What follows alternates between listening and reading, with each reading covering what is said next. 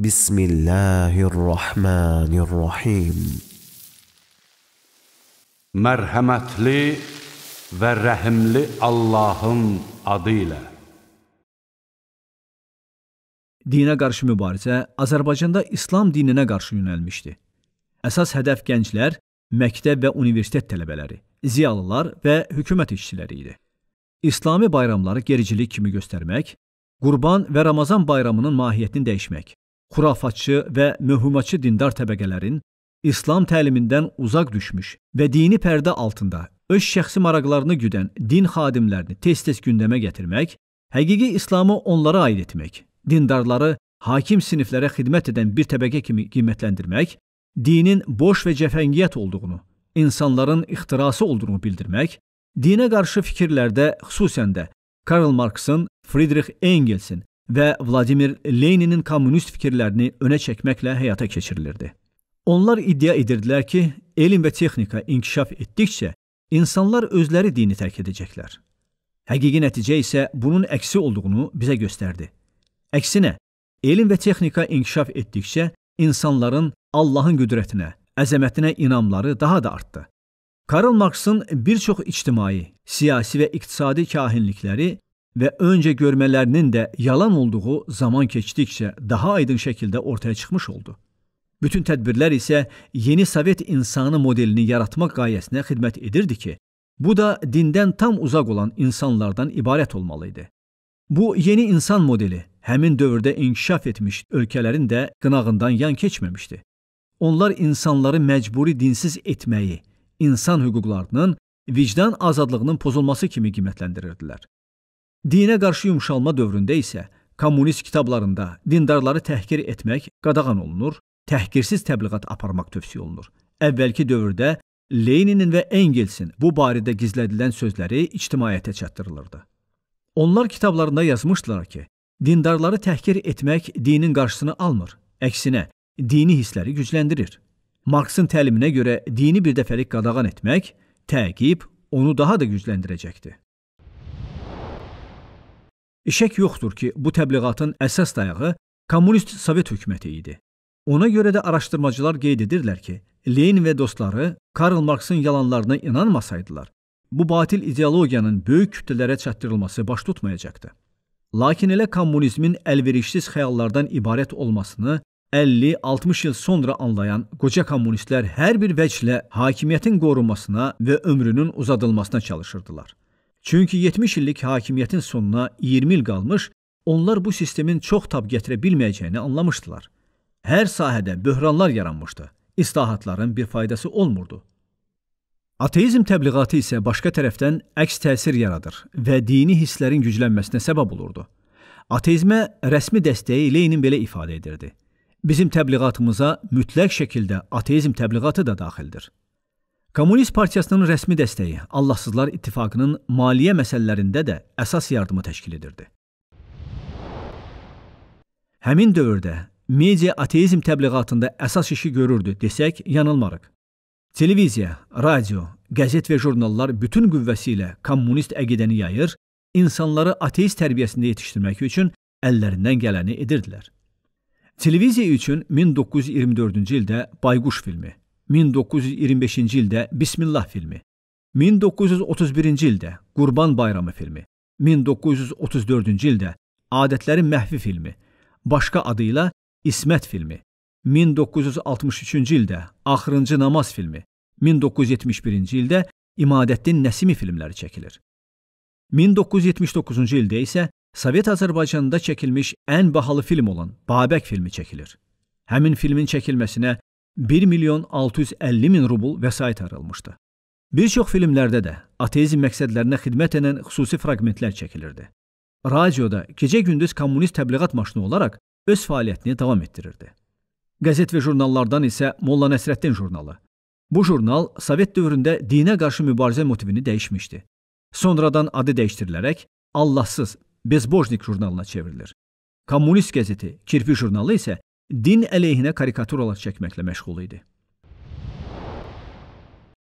Azərbaycanın Sovet rejiminə baş əyməyən ziyalıları, şair və yazıçıları, alimləri və s. qətil və ya sürgünə düçar edildilər. Repressiya qurbanlarını bir çoxumuz yəqin ki, tanıyırıq. Ziyalıların digər sağ qalanları isə ya ictimai fəaliyyətindən uzaqlaşdılar, ya da Sovet kommunistlərinin şərtlərinə razılaşıb öz fəaliyyətlərinə davam etməyi seçdilər. Kommunistləri dəstəkləyən, bəzən isə ateizm təbliğatını birbaşa dəstəkləyən ziyalılar isə bunu ya qorxudan, ya da vəzifə hərisliyindən edirdilər. Sovet dövründə dini durum bu barədə xüsusi araşdırması olan Ameyanın elmi işçisi Müstəqil Ağayev özünün 20-ci əsrdə Azərbaycanda Din problemi adlı kitabının 115-ci səhifəsində belə deyir. Sovet ideologiyası çərçivəsində işləməyə məhkum olmuş filosoflar, digər mütəfəkkirlər tədqiq etdikləri şəxsiyyətlərin yaradıcılığında İslam dini əleyhinə olan ən kiçik və ən zəif fikri belə üzə çıxarıb şişirdilmiş və ya qabarıq şəkildə verməklə bolşevizmə sədaqətli olduqlarını sübut etməyə çalışırdılar. Zamanın tələbi belə idi. Bundan qaçmaq mümkün değildi. Yazılma tarixindən aslı olmayaraq, din əleyhinə olan hər hansı bir əsərin mövcud ideologiya üzərindən təhlili və tənqidi alimlərin, tədqiqatçıların qarşısına qoyulmuş vacib bir vəzifə idi. Bu vəzifənin icrasında kiçik bir səhvə yol verənlər cəzalandırılırdılar. Bəziləri qorxudan, bəziləri isə yarınmaq xatirinə öz fəaliyyətlərini bu istiqamətə yönəldirdilər. Ona görə də bu dövrdə din əleyhinə yazılmış əsərlər, məqalələr, məruzə və mühazirələr çoxluq təşkil edirdi. Bundan əvvəl isə müəllif öz fikrini daha təkidlə ifadə edərək deyir ki, həmin dövrdə hər bir vəclə Sovet hökumətini müdafiə edən yazılar yazan filosofların səsini nədənsə eşitmirik. Artıq Azərbaycanın müstəqilliyindən 15 ildən çox vaxt keçsə də, nədənsə o cür yazılar daha yazılmır. Bu da bir daha həmin yazıların dövrün tələbi olmasının əyani sübutudur. Sovet dövründə Azərbaycan əlifbası 2 dəfə dəyişmiş, 3-cü dəfə isə rus dili ön plana keçmişdi. 1929-cu ildə ərəb əlifbasından latın əlifbasına keçilir. 1938-ci ildə latın əlifbasından kiril əlifbasına keçilir. 1953-cü ildə isə rəsmi dairələrdə rus dilindən istifadə olunması qərarı verilir. Bütün bunlar hamısı ruslaşdırma siyasətinin tərkibi idi. Həm də bu gələcək nəsillərin tez-tez əlifba dəyişikliyi səbəbilə öz keçmiş tarixi ilə bağlarının qoparılması, keçmiş yazıların oxumasını çətinləşdirmək demək idi. Ayrıca türkçülük ideyaları olan şəxslər, o cümlədən də Sovet hakimiyyətindən əvvəlki müstəqil Azərbaycan hökumətinin nümayəndələrinə qarşı ən sərt tədbirlər görülmüş, onlar vətən xaini adlandırılmışdılar. Xalqın dini kimliyinə qarşı mübarizədə isə Hətta dinlə əlaqəsi olan adətlər müəyyənləşdirilir və qadağan edilirdi. Yəni adətlərin icad edilməsi və bu yeni adətlərin köhnə adətləri aradan qaldırma vasitəsi etmək Sovet rejiminin əsas siyasətlərindən biri idi. Bu siyasəti həyata keçirmək üçün də xüsusi kitablar yazılmışdı. Qəddar Sovet kommunist rejimi Azərbaycan xalqına qarşı genosid tətbiq etmişdir. İşğalın ilk illərində Azərbaycan xalqının 40 mindən çox vətəndaşını, özü də düşünən beyinləri, ziyalıları, ağsaqqalları, savadlı insanları, bir sözlə xalqın qaymaqlarını qətl etdilər. Çünki onlar yalnız xalqın baş bilənlərini məhv etdikdən sonra xalqın müqavimət ruhunu qırmış olacaqdılar.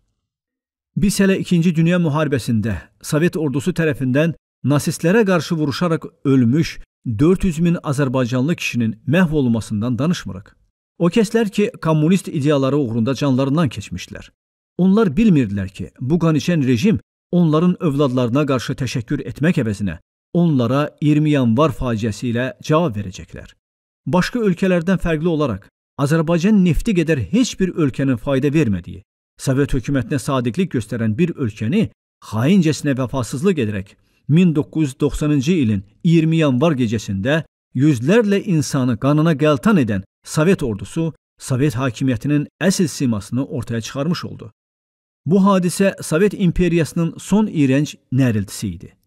Ağıl sahibləri üçün isə parlaq şüarlarla saf insanları aldadan, Azərbaycanda minlərlə insanların qətli ilə başlayan hakimiyyətin 70 il sonra başqa bir qətliamı Bakının mərkəzində törətməsi sadəcə böyük bir ibrətdir.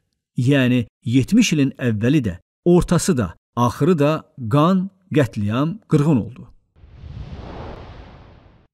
Son olaraq, bu gün sosial şəbəkələrdə kommunistləri dəstəkləyən, Xalqımıza bu qədər qan, zülm gətirmiş düşmənləri sevənlərə sadəcə tövsiyəmiz vicdanlı, ədalətli olmağa çağırmaq, qəflət yuxusundan ayıltmaqdır. Düşmənlərinizi tanıyın, onları arzulamayın. Çünki düşmən yalnız qan və fəlakət gətirir. Bu düşmən isə vətənimizi taladı. Yaxşılığımıza vəfasızlıq, xainliklə cavab verdi. İnsanları isə Allahdan uzaq saldı.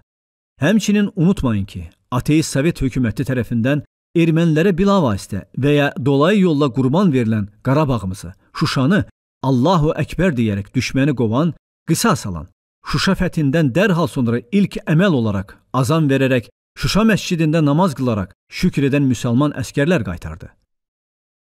Unutmayın və bilin ki, Allaha qarşı vuruşanlar sonda daim məğlub olurlar.